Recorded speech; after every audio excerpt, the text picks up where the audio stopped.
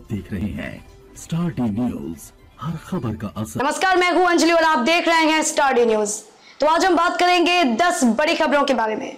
तो चलिए शुरुआत करते हैं आज की पहली बड़ी खबर से।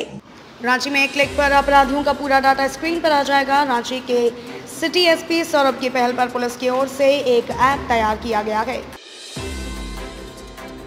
रांची के खेलगांव थाना क्षेत्र के गाड़ी गाँव के पाहचोली में गुरुवार की देर रात विवाहिता ने अपने प्रेमी के साथ मिलकर पति की गला दबाकर हत्या कर दी। दस लाख के नामी नक्सली महाराज प्रमाणिक के आत्मसमर्पण की वजह खास है। उसके पास अलग रास्ता नहीं था। संगठन ने उसे किनारे लगा दिया था। पुलिस पीछे पड़ी थी हालात को देखते हुए उसने आत्मसमर्पण का रास्ता ही बेहतर समझा।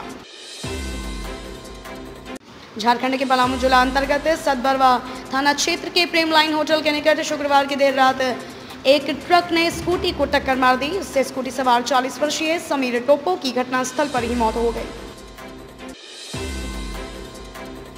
सिटी सेंटर यानी गांधी चौक की बदल रही सूरत, आसपास के पार्क का भी ऐसे किया जा रहा कायाकल्प। नाइट शिल्डर स्थित अमृत मेडिकल स्टोर से 20 प्रतिशत से लेकर 80 प्रतिशत रियायत पर मरीजों को दवाई मिल रही है।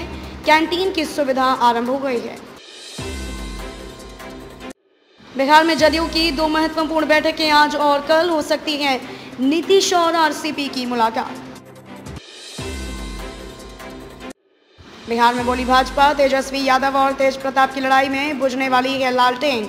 हो चुकी है शुरुआत।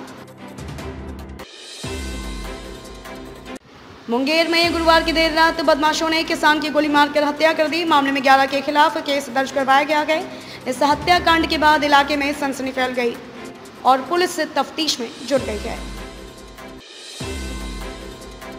कक्षा तीन की मासूम छात्रा पर गंदी नज़र डालने वाला शिक्षक दोषी करार। सुपौल में इकतीस अगस्त को कोर्ट सुनाएगी फैसला।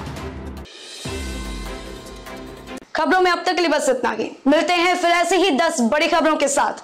तब तक के लिए नमस्कार और देखते रहिए स्टार डी न्यूज़।